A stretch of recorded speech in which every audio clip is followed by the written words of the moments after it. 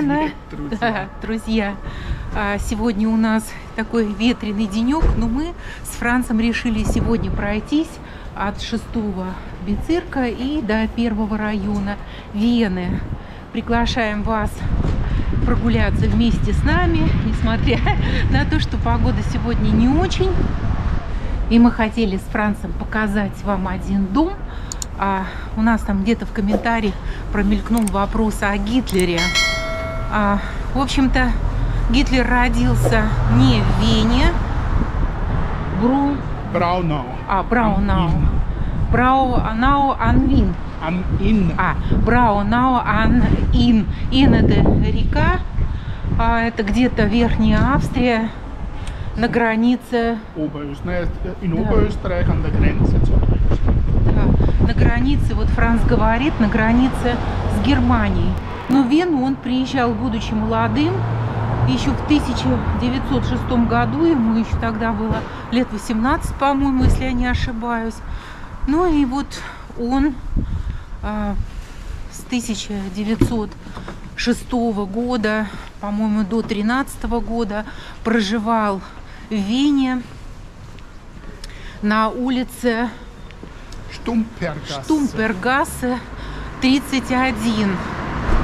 Вот мы ищем этот дом и посмотрим, а, что за дом, где проживал Гитлер. Смотрите, какие дома классные. Франц спрашиваю, наверное, это дорогой район. Он мне говорит, что этот район недорогой. Но здесь около Марии Хильфштрасс, наверное, все-таки не из дешевых районов. Тем более старые дома, да приватные. Тем более это вот, в общем-то, не муниципальные дома, а мне кажется, выкупленные дома.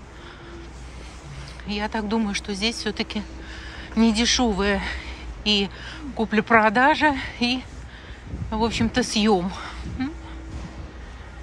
Мы с Францем нашли этот дом.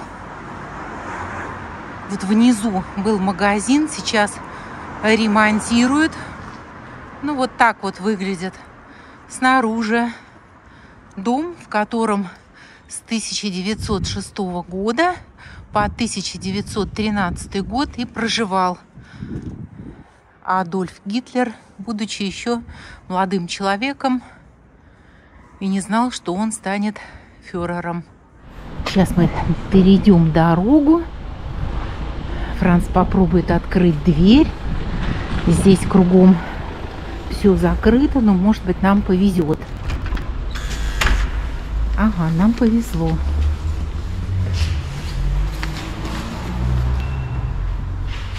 Вот после приезда Гитлера в Вену он ищет себе недорогое жилье и снимает комнату всего в 10 квадратных метров по адресу Штумпергассе 31.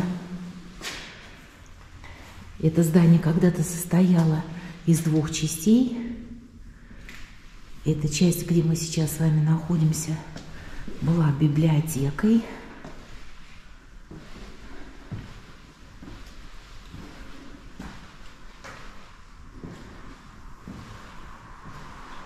Как я вычитала, вот переход в мезонин.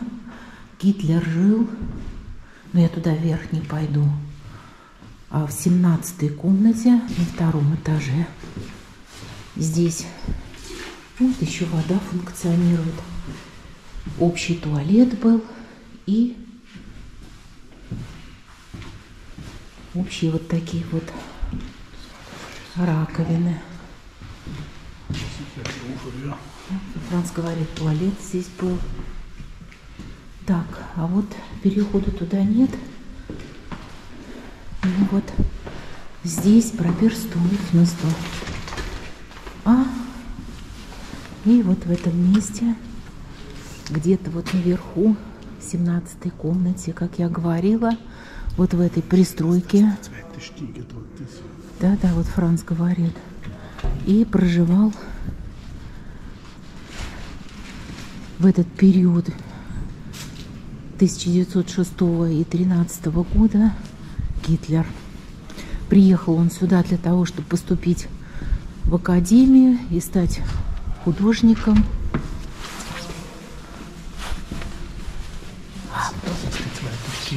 Вот здесь. Да. Вот здесь. Вот в этих местах. Да. Он где-то там проживал. Но мы туда уже не пойдем. Но вот в этом доме все практически сохранилось, как было. Ну, наверное, поменяли окна. Ну вот мы с вами побывали в месте, где проживал, будучи молодым, Адольф Гитлер.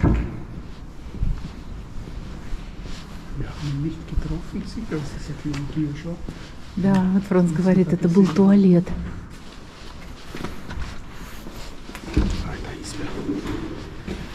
Не могу удержаться, не показать, какие шикарнейшие дома начала 20 века в шестом бицирке.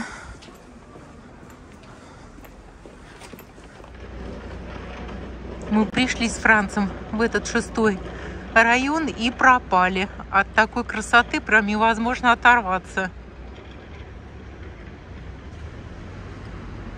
Да, у нас сегодня так ветрено. Мы с Францем хотели пройти той дорогой, которой ходил Гитлер от Штумпергассе. Штумпергассе? Да. И до Академии изобразительных искусств в интернете я нашла информацию, что он был нищим, у него не было денег на, для того, чтобы проехать там на трамвае или на автобусе, или на чем они там ездили в те года. И он ходил пешком. И это занимало 10-15 минут. Вот мы с Францем идем какими-то подворотнями. Да-да, Кумпендорфа штрассе.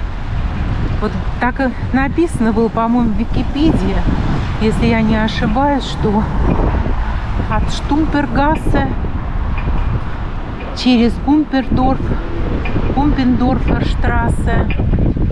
И вот в этом направлении он и шел.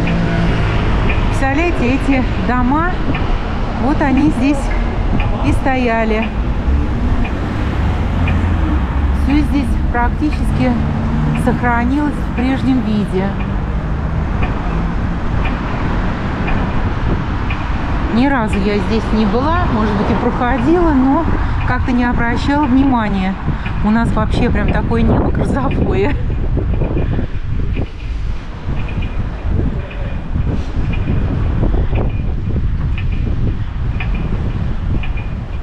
Кстати, хотела бы сказать, что есть еще Шонбрунштрассе, oder Brunnerstraße.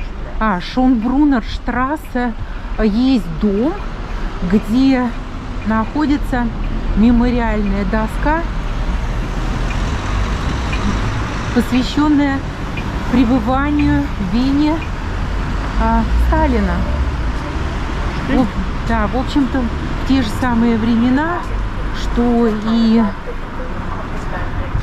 Гитлер, он тоже здесь находился. Кто его знает, может быть, они и видели друг друга. Если у кого есть интерес, напишите. Мы с Францем можем либо сделать стрим, показать этот район, там, где находился Сталин, и дом его, вернее, не его, а там, где он проживал.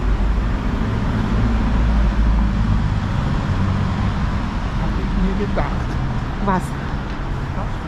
Gehen da Кстати, вот у нас по курсу Дом моря. Да, toll.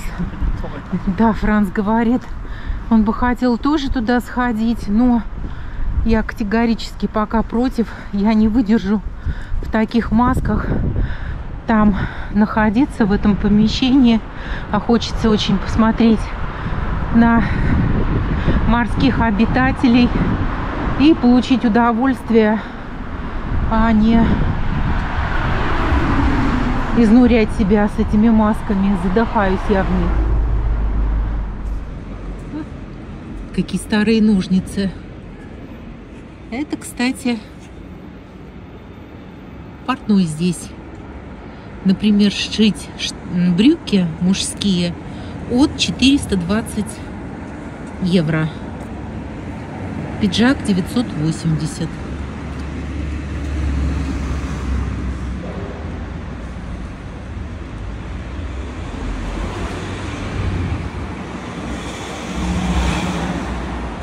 Вот старинный магазинчик. Вот мы прошли с Францем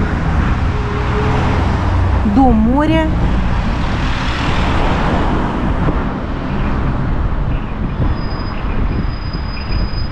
Смотрите, как красиво, а? Вот такие вот улицы.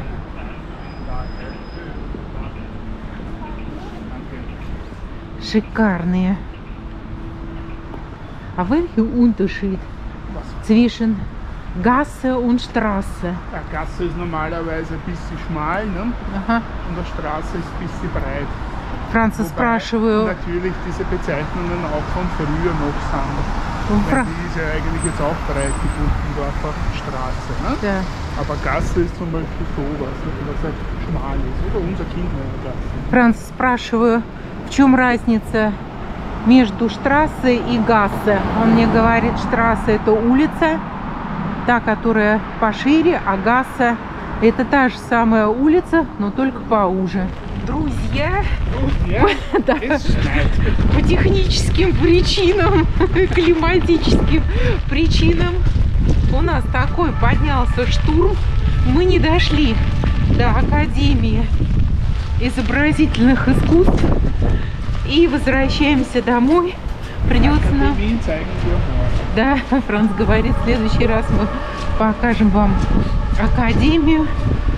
У нас ни с того ни с сего такая поднялась буря со снегом. И мы с Францем бежим. Так что до следующих встреч в эфире. Пока.